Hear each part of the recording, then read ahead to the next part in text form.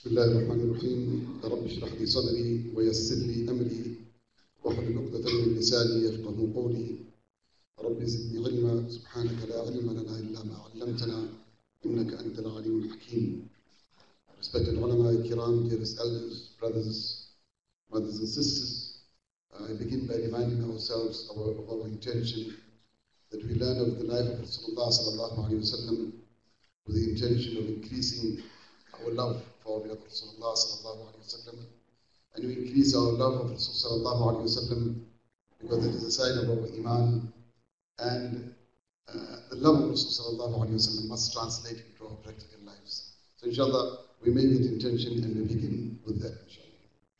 Respected brothers and friends, the last uh, presentation last night was uh, a presentation which uh, discussed the context into which our beloved was born.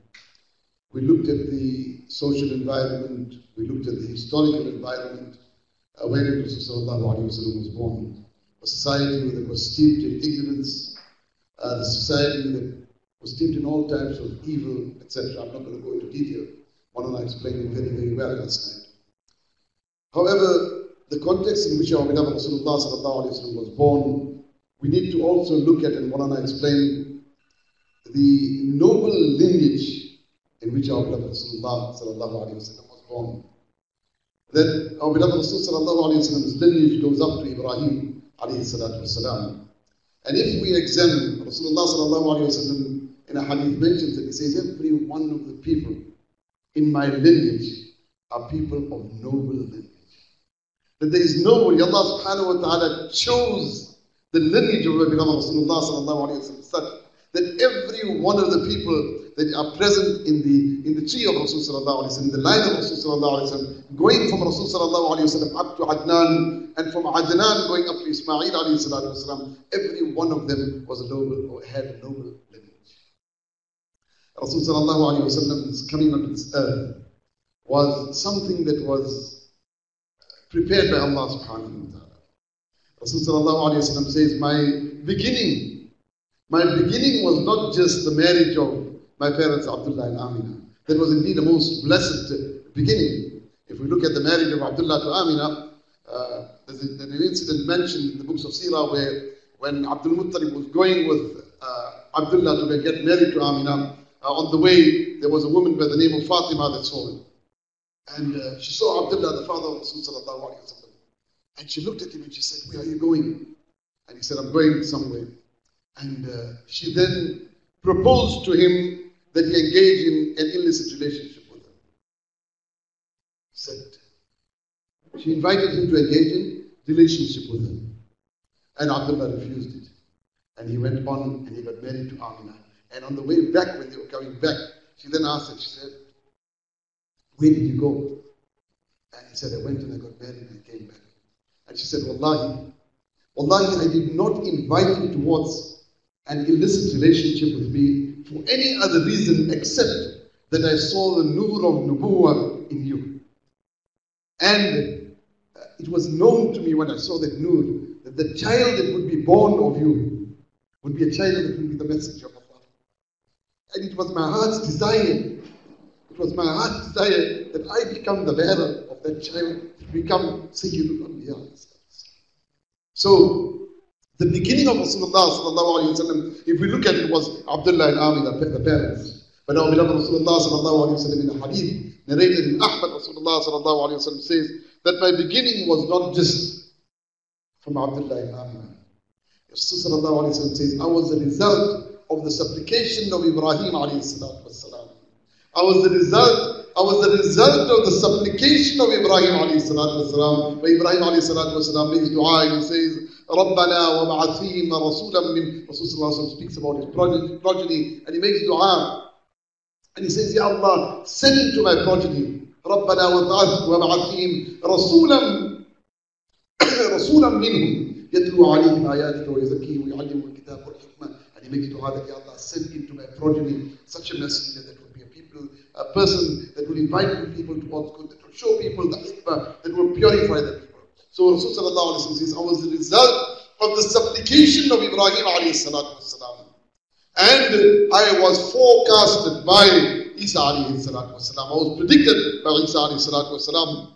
Where Allah subhanahu wa ta'ala says in the Quran, وَإِذْ قَالَ عِيسَى ابْنُ مَرْيَمَ يَا بَنِي إِسْرَائِيلَ إِنِّي رَسُولُ اللَّهِ إِلَيْكُمْ مُصَدِّقًا لِمَا بَيْنَ يَدَيَّ من التوراة ومبشرا برسول يأتي من بعده اسمه أحمد So Isa والسلام, predicted the coming of our beloved Rasul sallallahu alayhi wasallam. He says, uh, the Quran mentions it says, and remember the story of Isa ibn Maryam when he said to the people that I am a messenger of Allah subhanahu wa ta'ala towards you, bring towards you glad tidings and uh, bring you glad tidings also of a messenger of Allah subhanahu wa ta'ala that will come to you and the name of this messenger is so Rasulullah says, I was the result of the supplication of Ibrahim والسلام, and I was predicted, my coming was predicted by Isa والسلام. And he says, and my mother saw in a dream a light that came out of her. This is the hadith that is narrated in Ahmad.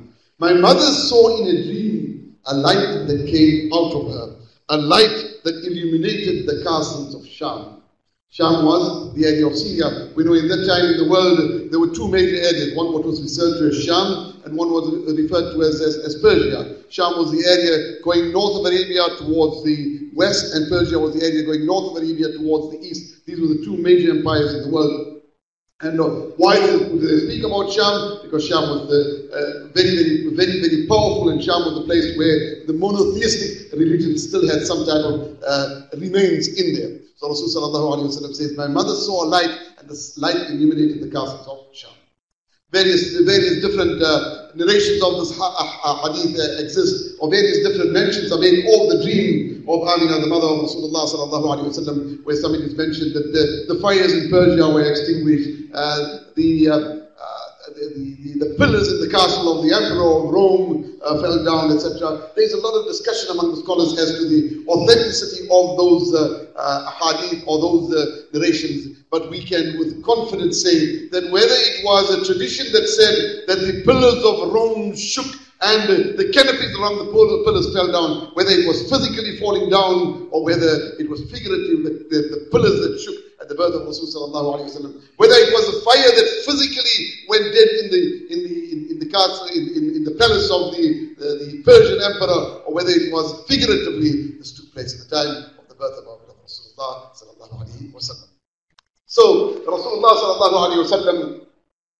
coming wasn't just a coming from the marriage of Abdullah to Amina, but it was something that Allah subhanahu wa ta'ala prepared, uh, prepared the environment for the coming of Rasulullah It was to be a coming of a person that would change the horizon of the world. It was a, to be the coming of a person that will take people out of ignorance into, into nur of knowledge. It was a coming that would take people out of darkness and into light. It was the coming of such a person that would impact on the people around him and will continue to impact on the people up to the day of Qiyamah in such a way that no person has impacted. There is no being who is spoken about more other than our, more than our beloved Rasulullah sallallahu alaihi wasallam, and there is no being that is impacted upon anybody more than our beloved Rasulullah sallallahu alaihi wasallam.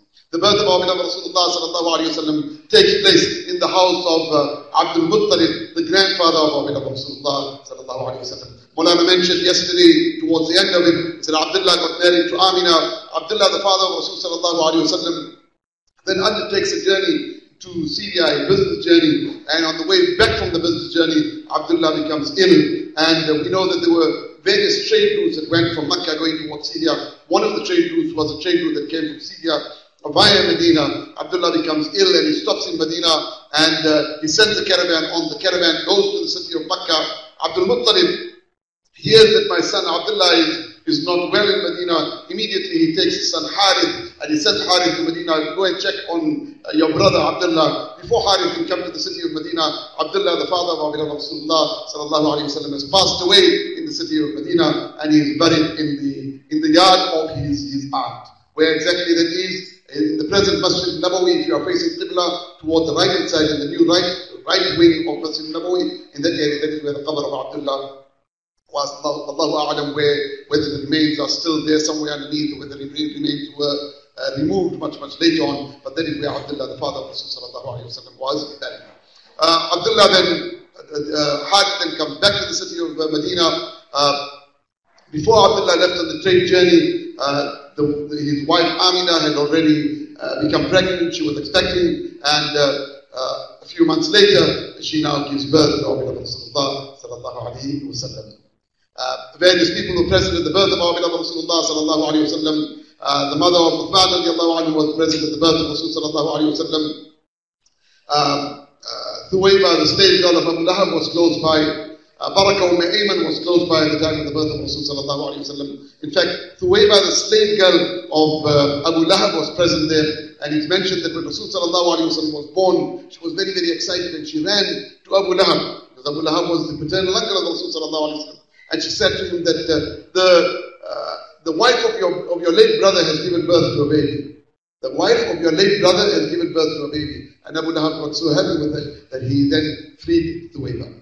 So Rasulullah was then born. When Rasulullah was born, Abdul Muttalib then had a large feast and he invited people towards this feast. Uh, the aqiqah took place, the naming of Rasulullah and at the naming of that, he, uh, he named Rasulullah as Muhammad. The people that were sitting there were very uh, surprised. They said, Why are you naming Muhammad? And Abdul Muttalib then narrated a very lengthy dream of his where he saw himself being hung from uh, the sky with a chain. The chain was from the ground right up to the sky and extended to east and west. And the dream is very, very lengthy. And then he was then informed about the coming of Rasulullah and he was instructed to name Rasulullah as Muhammad. So on the basis of that dream, Abdul Muttalib then named Rasulullah as Muhammad. In fact, there is a narration in Hadith which says that Amina, also the mother of Rasulullah also had a dream in which she was instructed to name Rasulullah as Muhammad. So Rasulullah is then uh, named as Muhammad al Aqiqah. Thereafter, uh, Rasulullah remained with his mother Amina. Rasulullah is breastfed by Amina. Two other people also breastfeed Rasulullah. One is uh, uh, Umm, umm Ayman Baraka, the slave girl of Abdullah that remained with uh, Amina.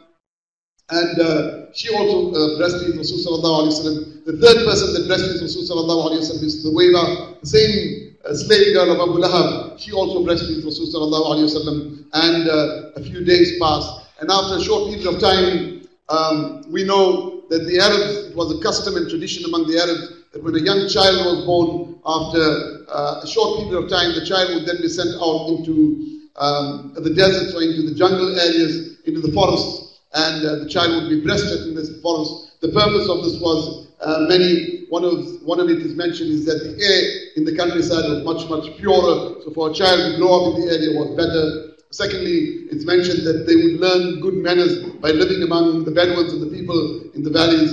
And thirdly, it is mentioned that the Arabic that was spoken by the, by the Bedouins and the people in the, in the desert areas outside of the city was a much pure, a purer uh, Arabic. So for this reason, people used to send their children out.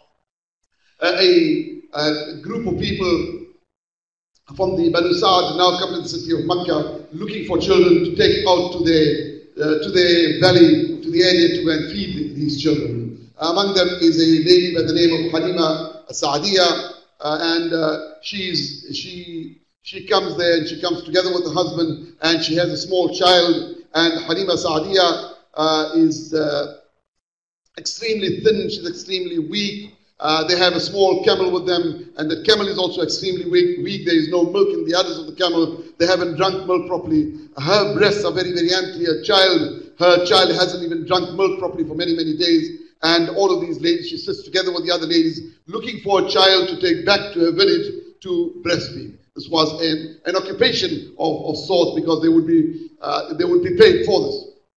And the different parents from Makkah now go around taking the children, and our beloved Rasulullah is also presented. But each one of the women of the Banu Sa'd refused to take Rasulullah because Rasulullah is an orphan. And Halima says that I also refused to take Muhammad because he was an orphan. She says, Little did I know that he won't be a yatim, but he would be a pearl that would come to me. Uh, in the end of the, towards the end of the day, nobody else has come forward to, uh, to Halima Sa'diya. So she says that, she says to her husband that, Wallahi, I will go and I will take that child even if he's an orphan. And she goes, and she says that I will take him even if he's an orphan, inshallah, through that there will be barakah. And she goes and she takes our beloved Rasulullah sallallahu alayhi wasallam. And no sooner does she come back, her breast full up with milk and she feeds our beloved Rasulullah sallallahu alayhi wasallam. She feeds her son and the camel that is with them. The camel's udders fill up with milk and all of them drink uh, comfortably and they, they drink to their fill from the milk of that camel. The next morning they climb onto the camel and they leave going back to uh, the area, the area of the Banu Sa'd. That area is about 40 kilometers uh, uh south of, of uh, Taif and uh, in fact the ruins of the, of the, of the houses of Halima still exist up to today. Generally, nobody, uh, people won't take you there, but if you if you get a chance to quietly go there, a small group of people, you can actually go and go see those remains of the of the Banu Sa'd. In any case, our beloved Rasulullah sallallahu together with Halima Sa'diya, now leave. Halima Sa'diya climbs on a camel, and uh, as she climbs on a camel, it was a when they came, it was a weak camel that could hardly move. Now the camel goes and it runs in front of everybody, and all of the other ladies look at look at her and say that uh, is this the same camel that you came with? That camel could hardly walk, could hardly keep up with the group, and now this camel is going forth. And they proceed back to the house of Halima Sa'adiyah. Story is very, very long. Uh, Rasulullah remained with them for a period of two years in which Halima Sa'adiyah, Halima uh, enjoys a life filled with the barakah. Uh, the animals that she has uh, become very, very meaty animals and animals that give a great amount of milk to the extent that the other people in the area say, take your, say to the shepherds, take your animals to the area where Halima's animals are, are grazing. But uh, they take the animals to those areas, the animals do not come back as, as meaty and as healthy and as full of milk as the animals of Halima. After two years, Halima now takes Rasulullah sallallahu alayhi wasallam and they go back to they go back to the city of Mecca to Amina, and when they come to Amina, Halima begs Amina and she says that please let me take him back because of the barakah she had, she had experienced with Rasulullah sallallahu alaihi wasallam. She begs, and Amina, the mother of beloved Rasulullah sallallahu alaihi wasallam, then gives permission and allows for Rasulullah sallallahu alaihi wasallam to go back with the Halima to the village area, to the outlying areas, uh, as with the with the other Bedouins in the in the desert. They remain there, and uh, while they are there, uh, towards after approximately two years, when Rasulullah sallallahu alaihi wasallam is four, four and a half years old, an incident takes place where Rasulullah sallallahu wasallam is to go and uh, take go with the other children to take the camels out to go and graze. While they were out grazing the animals, the other children run back to Halima and uh, the husband of Halima, and they come back and they say that uh, something has happened to our brother Muhammad. Something has happened to him, and uh, Halima rushes towards the area together with the husband and they come there and they find Rasulullah wasallam shaking and trembling and frightened and they hold him to the chest.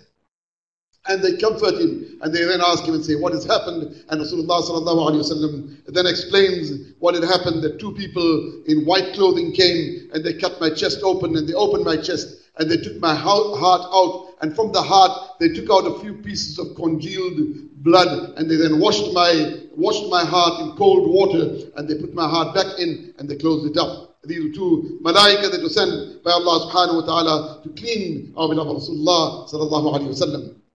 Rasul sallallahu alayhi wa sallam uh, is then taken by Halima. Halima and her husband are now shook up that what has happened. The husband is convinced that uh, this child, something has happened to him. He's not thinking clearly. What, how could he say that these type of things happen? And they are concerned that if something happens to them, they will be responsible. So they take the child back to the mother Amina, uh, uh, and, and they present Rasulullah sallallahu alaihi wasallam to her. Amina says, "What has happened? You are afraid." They don't say what has happened. They say, "No, we brought the child back." He says, "What has happened?" What has happened? Why have you brought him back? I can see that something has happened. And first they are reluctant and then they explain what's happened. And Hanima says, No, nothing will happen to this child because I have seen, in my dream, I have seen the nur. I have seen nur emanate from my, from, from my stomach when I was holding this child. And I know that the nur will come out of this child. This will be, uh, this will be a child that is protected by Allah subhanahu wa ta'ala. Rasulullah sallallahu alayhi wa sallam then remains with the his mother Amina, a year later when Rasulullah sallallahu alayhi wa is six years old, Amina then takes our beloved Rasulullah sallallahu alayhi wa on a journey from uh, Mecca up to Medina. They go specifically to go and spend some time with the family of Rasulullah sallallahu alayhi wa in Medina and more specifically to go and visit the qabr of the father of Rasulullah sallallahu alayhi wa Abdullah. They spend a period of approximately six months in the city of, uh, of Medina. Uh, sallallahu alayhi wa in many hadith later on uh, recalls very fondly recalls memories of uh, uh, this six months that he spent in the city of Medina. On one occasion, Rasulullah mentions of how he learned to swim in a pond uh, while in Medina. That I learned to swim in a pond in Medina. Or Rasulullah mentions how he used to play with a young girl by the name of Anisa while he was in the city of Medina. They spend approximately six months. Uh, Rasulullah now returns with Amina and Baraka Umm Ayman, the slave girl of the late father of Rasulullah. They leave from the city of Medina, coming back towards Mecca. And on the journey, Amina falls ill and uh, she passes away. The area that she passes away at is the area called Abwa. Uh, Amina is buried in that particular area, and her qabr remains there up to today. In fact, at the time of uh, Fath Makkah, there is an incident mentioned that on the journey of Fath Makkah, Rasulullah sallallahu alayhi wasallam visited uh, Rasulullah sallallahu alayhi wasallam visited the uh, qabr of his mother.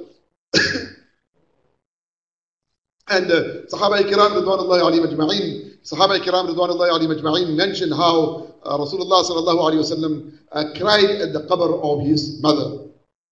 Rasul sallallahu alayhi mother now passes away. Umm Ayman Baraka brings Rasulullah sallallahu alayhi back to the city of uh, Makkah. Rasul sallallahu alayhi now falls under the guardianship of his, uh, his paternal grandfather, Abdul Muttalib. And Abdul Muttalib has great love for our beloved Rasulullah sallallahu alayhi wasallam to the extent that he's mentioned that he loves him more than, more than anybody, more than anybody else. And uh, uh, to the extent that he will always keep Rasulullah sallallahu alaihi wasallam next to him. And as a young six, seven year old boy, Rasulullah sallallahu alaihi wasallam used to go out and graze the animals. An incident mentioned in the books of Sirah where on one occasion Abdul Muttalib was walking around the Kaaba and uh, fervently making a dua, making a dua for his son uh, for his grandson Muhammad sallallahu alaihi wasallam. And people asked what has happened, and he said, no, he went out to graze the animals, and uh, he still isn't back. It was a little bit later than normal, but Abdul Muttalib is now getting worried and excited that Muhammad sallallahu alaihi wasallam hasn't come back. This was the love that Abdul Muttalib had for Rasulullah sallallahu alaihi wasallam. Two years later, Abdul Muttalib now passes away. Two years later, Abdul Muttalib passes away. Rasulullah sallallahu now goes under the guardianship of his uncle Abu Talib. This beloved Rasulullah sallallahu that Allah subhanahu wa ta'ala had prepared, that Allah subhanahu wa ta'ala had chosen for the mission of Risala, was a messenger that Allah subhanahu wa ta'ala chose to show the world that I will protect him. That he does not need the home he does not need a father to bring him up and look after him. He does not need a mother that will look after and bring him up. He does not need his paternal grandfather. And later on, we see even his paternal uncle, Abu Talib, under whose guardianship was uh, Rasulullah sallallahu alayhi wa then becomes, uh, uh, grows up. But he doesn't need any of this. He will be protected by Allah subhanahu wa ta'ala. This was our beloved Rasulullah sallallahu alayhi wa sallam. In any event, Rasulullah sallallahu alayhi wa now remains under the care of Abu Talib. Abu Talib also shows great love to our beloved Rasulullah sallallahu alayhi wa he loves him more than any of his children and he keeps him close. Uh, he wouldn't be, keep his, any of his children to sleep on the same bed with him, but he allows Rasulullah sallallahu alayhi wa to sleep on the bed. On one occasion, uh, Abu Talib is undertaking a business journey to Syria and uh, he's about to take, undertake the journey. Muhammad asks for permission. Abu Talib says no, because it is a long journey. He's a young child. Narrations mention that he was nine years old. Some narrations mention that he was 11 years old. Rasulullah asked for permission. Abu Talib first says no, but when he sees the sadness on the face of Muhammad sallallahu alayhi wa Abu Talib then gives permission, and they go on this journey. And the, as they go on the journey, uh, towards the end of the journey, they come to an area where there is a a monk, a Christian monk by the name of Bahira that uh, sees this caravan coming. A story is very long, we don't have time to go into it. Inshallah, in, in the textbook you can uh, uh, have a look at it and read about the story of Bahira, some say Bahira, uh, the monk.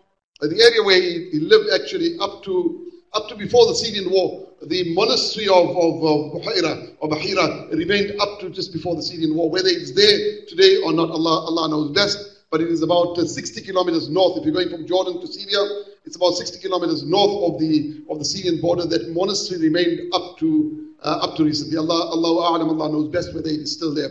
But at that, on that occasion, Buhayra then recognizes Rasulullah sallallahu alayhi wasallam as the messenger of Allah subhanahu wa ta'ala.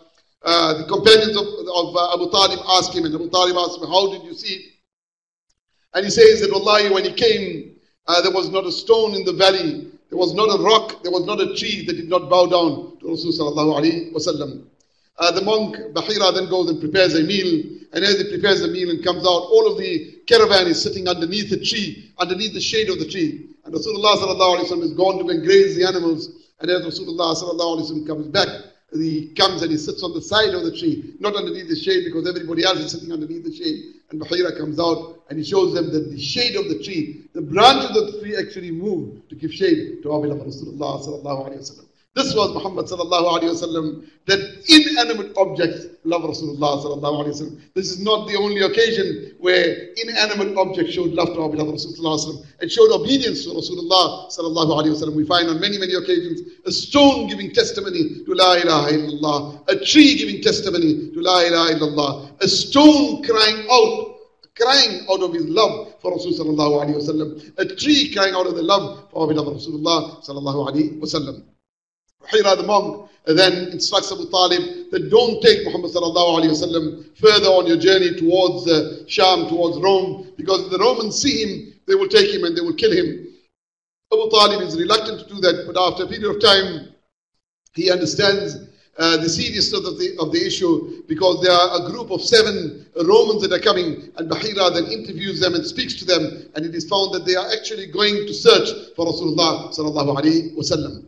Uh, Abu Talib then sent Rasulullah back to the city of Mecca. The people that bring him back, incidentally, are Bilal radiallahu ta'ala anhu and Abu Bakr radiallahu ta'ala anhu.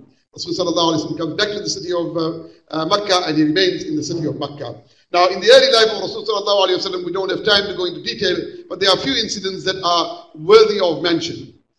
One is that it is mentioned that our beloved Rasulullah was prepared by Allah subhanahu wa ta'ala and he was preserved in such a way that our beloved Rasulullah sallallahu alaihi wasallam never engaged in any type of evil. Rasulullah sallallahu alaihi wasallam never engaged in any type of evil. Rasulullah sallallahu alaihi wasallam never engaged in any type of wrongdoing to the extent that Rasulullah sallallahu alaihi wasallam never engaged in anything that was worthless in terms of time.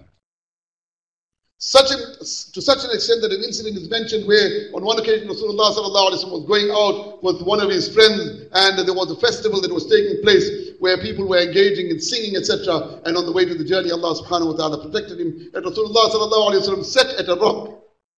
He said, I'm coming now. And he sat at a rock and he fell asleep. And the people